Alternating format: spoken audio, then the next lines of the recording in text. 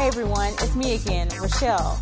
I just wanted to encourage you if you're still having trouble in Algebra 1. One thing to keep in mind is that you can represent one problem in many different ways. Our teachers call this multiple representations. So what I want to show you right now, I want to give you an equation and I want you to represent it in different ways. Remember, you can represent it as an equation, a verbal description, a table, or a graph. Let's check it out. So from the top of my head, let's say I wanted to use the equation y is equal to 2x plus 2. Okay? Now, remember, this is equation form. The technical term is called symbolic, but we're just going to say equation. I can represent this equation in a table, I can represent it in a graph, and I can write a verbal description for it. Let's check out the table first okay? When I'm doing a table, I just want to choose some values for x, any numbers that I want to. I like to start off with 0, count up to 4. So my numbers for x will be 0, 1, 2, 3, and 4. What am I going to do with them? Real simple. Plug each one of these numbers into the x or substitute for the right term, and then find your answer for y. So let's start with 0. I'm going to work it out in what's called my process column. Okay? So, y is equal to 2 times 0 plus 2 is 0 plus 2, which is equal to 2. Okay? So I'm going to put a 2 in the y column. Real simple. Let's do the same thing for 1. y is equal to 2 times 1 plus 2. 2 times 1 is 2. 2 plus 2 is 4. So when x is 1, y is 4. Let's do the same for 2. y is equal to 2 times 2 plus 2. 4 plus 2 is 6. So when y, excuse me, when x is 2, y is 6. Okay? Let's do the same thing for 3. y is equal to 2 times 3 plus 2. 2 times 3 is 6. 6 plus 2 is 8. So when x is 3, y is 8.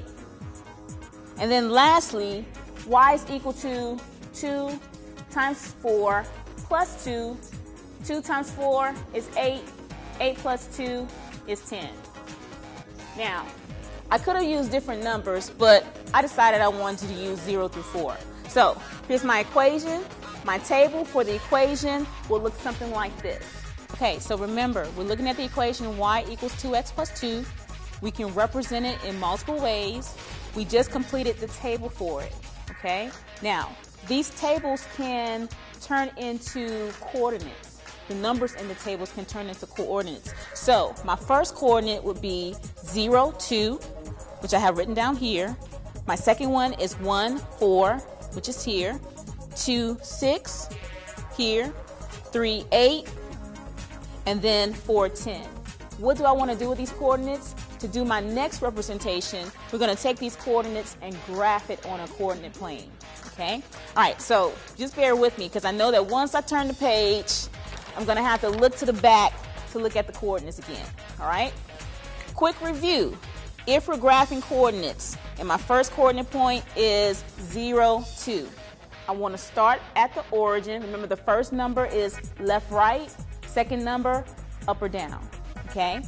I want to start at 0. This is my first ordered pair. And I'm going back and forth saying ordered pair coordinate is zero, two. Start at 0.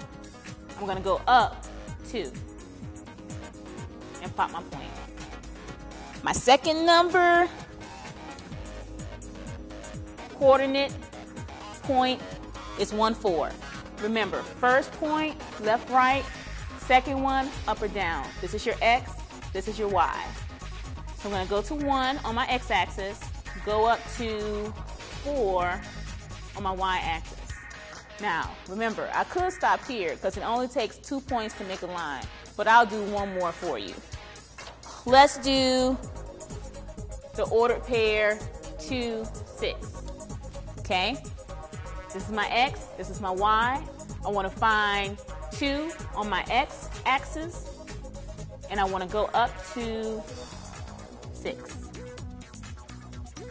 Now, Once you have two points or more, you can go ahead and connect your points. I'm going to get my ruler.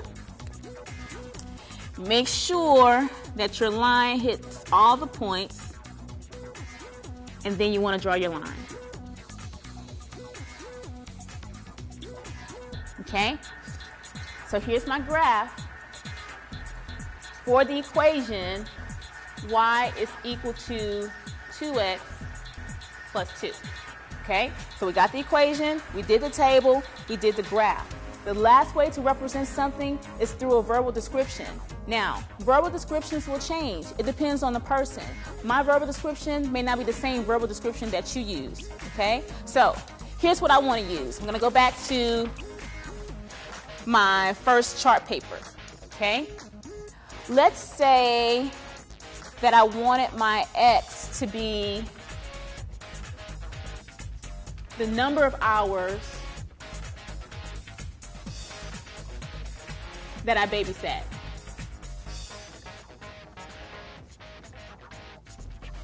Since I do have to babysit my brother and sister now and then. Ugh. Okay? And Y is the total amount of money that I earned.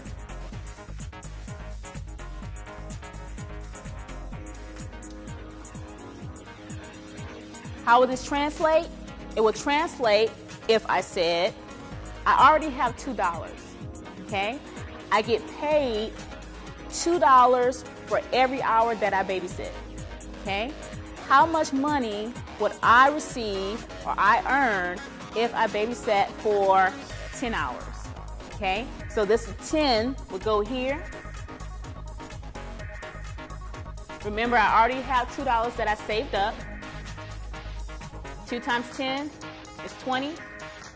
20 plus 2 is 22. So I will have a total of $22. Again, that's an example of my verbal description. You may see something totally different, okay? But remember, in algebra, there are multiple representations. You have the equation, you have the table, you have the graph, and you have your verbal description. I hope this helps you out.